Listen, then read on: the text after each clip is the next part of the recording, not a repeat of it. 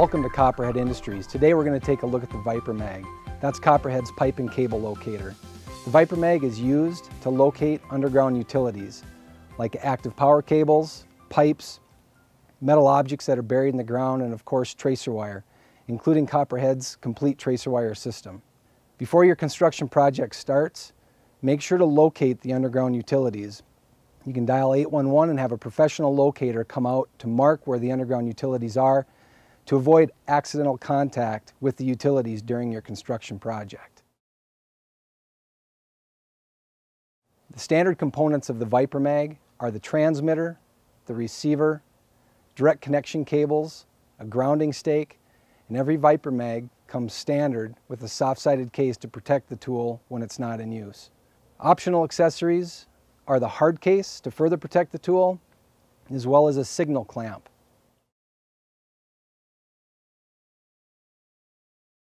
The Viper Mag combines active locate frequencies with a ferrous metal detector all in one device, streamlining the locating process and limiting the number of tools that the operator needs to take in the field with them.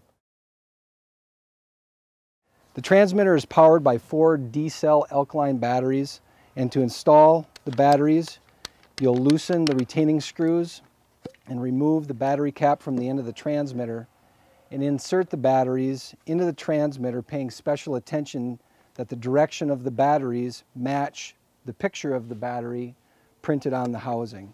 We want to make sure that the polarity of the batteries lines up. After the batteries are properly installed, replace the battery cover on the end of the transmitter and hand tighten the retaining screws.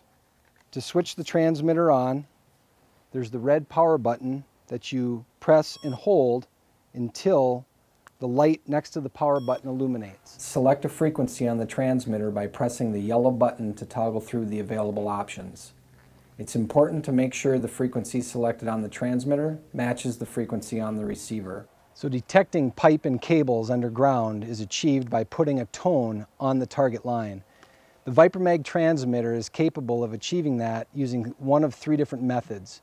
The first one is a direct connect method, the second one is induction, and the third one is using signal clamps. When you use the direct connection method, you're directly connecting the transmitter to a utility which is behind me. This is a gas meter and there's a water line right next to it and we're going to put this transmitter in an active tone on the water line. Here are your direct connect cables. What you first do is take your direct connection lead and plug it into your transmitter. Then you'll take the positive lead and connect that directly to the water line or the tracer wire on the water line. Then you'll take your negative or grounding lead and connect it to the grounding stake and put it in the ground, ideally 90 degrees to the proposed direction of the line. To put the transmitter into the induction mode, you simply disconnect the direct connect cables. Induction mode is done at the highest frequency of 83 kilohertz. And once you disconnect the cables off of the end of the transmitter, it'll automatically go into induction mode at that highest frequency. Then you'll set the transmitter at 90 degrees to the proposed direction of the water line. And then with your receiver, making sure that your receiver frequency matches the transmitter frequency, walk at least 15 or 20 paces away from the receiver before you start locating. The reason is because the signal in the air from the transmitter will be a little bit stronger than the signal on the line the closer you are to the transmitter. So once you step 15 to 20 paces away, then the signal on the target line will be a little bit stronger than the signal in the air. The third method is the signal clamp method. A signal clamp method is used when tracer wire isn't installed on the target line. To get started, like with the direct connect method, install the signal clamp into the transmitter and then take your clamp and put it around the target line. switch on your transmitter and then start locating in the same manner that you would with the direct connect method. So to power the receiver, you use two AA alkaline batteries, and I'm going to show you how to insert the batteries into the device. First, unscrew the battery cover, remove the battery cartridge, and then insert the batteries into the cartridge, paying special attention that the direction of the battery matches the picture of the battery on the inside of the cartridge. Then insert the cartridge back into the receiver, again making sure that the polarity matches according to the picture on the receiver. To switch on the receiver, press and hold the power button until the ViperMag logo comes on the screen and the receiver is on. The ViperMag receiver has five different modes or frequencies. A metal detection mode, a 60 hertz frequency, a 512 hertz frequency, an 8.19 kilohertz frequency, and an 83 kilohertz frequency. In order to change the mode or frequency on the receiver, there's a mode frequency selection button. When you hold down the mode frequency selection button, you'll get into the mode frequency menu. Then simply use either the minus or the plus sign to toggle through, hit the mode frequency selection button again, to choose that mode and get back into the active locating screen. We'll hit the uh, frequency mode selection button, toggle to metal, hit the mode frequency selection button again, and now we're in metal mode. There's a volume feature on the receiver that's either on or it's off. Right now it's muted. When I turn it on, you start to hear the tone in the metal mode. This is a cast iron lid of a test station that we'll put on the ground to demonstrate how the Viper Mag in ferrous metal mode can detect a cast iron lid. As you wave the wand over the cast iron, it'll pick up. We'll turn the gain up a bit.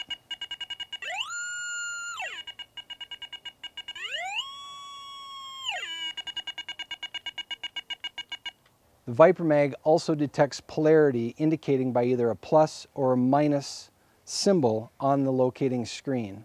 That helps the operator define the shape of a metal object that's in the ground. Another way that you might use polarity is when trying to find a cast iron lid of say a test station or a valve box that's located near a chain link fence. The metal detector will locate both the chain link and the cast iron lid, making it difficult to find the lid. But by looking at the polarity, the receiver will show south polarity at the bottom of the chain link fence, and it'll show north polarity when you reach the top of the cast iron lid.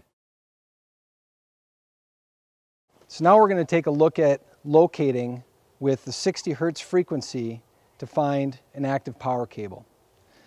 So as we mentioned before, we will press and hold the mode frequency selection button toggle to 60 hertz, press the mode frequency selection button again to get back into the locating menu. Right now I've got the volume muted. I'm going to unmute it and then we're going to make a scan along this line to try to find the active power cables that are coming out of the building.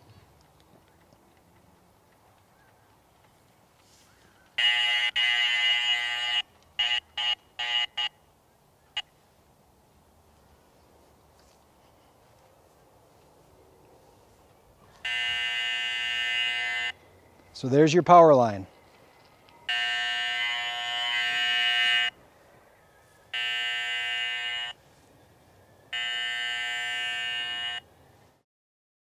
First we have to hook the transmitter up to the water line.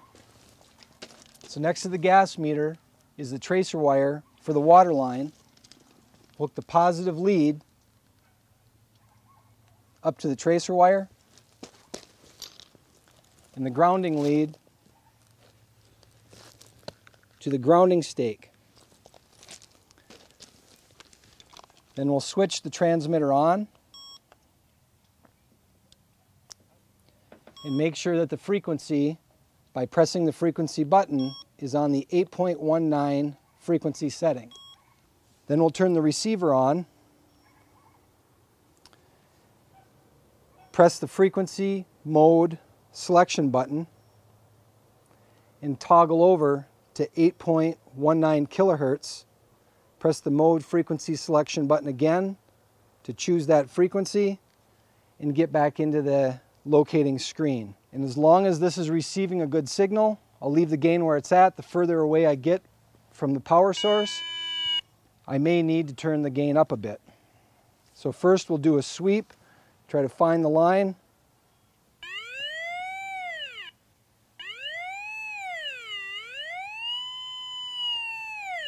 So obviously right here is the line.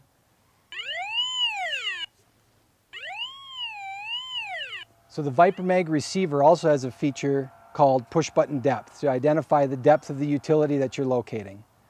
Push button depth is available on the 8.19 kilohertz frequency, so make sure that the receiver is set at that frequency as well as the transmitter.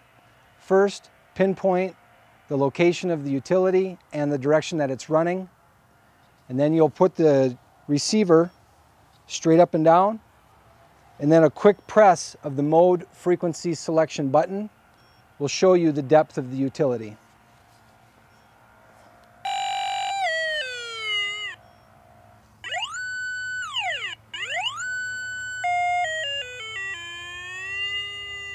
Then the direction. A quick press on the mode frequency selection button and the utility at this particular spot is one foot nine inches deep. A couple of differentiating features to keep in mind is that it's lightweight, compact, and durable. The menu is screamingly simple to use, and it combines Ferrous metal detection and active locate frequencies in one device. So thanks for joining us.